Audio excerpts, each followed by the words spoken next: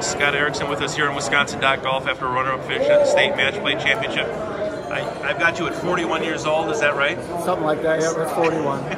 and and you're you're in here mixing it up with all these college kids. Uh, describe your week and how good do you feel about the way you played? Yeah, I actually came into the week uh, not playing very well. I had a sore back and uh, started playing well on Monday and found a little rhythm, and then uh, was just very happy to be able to compete with them. Obviously, um, played well each day hitting it very well. And today, I probably struggled the most hitting the ball, but um, through the first match, I played Zach, and Zach had a, a, couple unfortunate breaks, which I kept my ball in play all day. And then uh, in the afternoon, I played Ty, who wanted to, and Ty played perfectly. So it was a great week.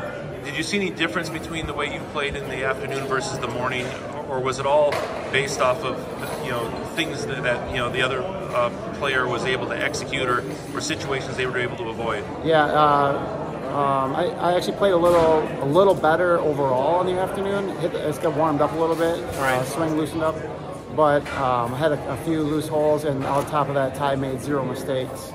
So it, obviously, it made it hard to come from behind with that. So.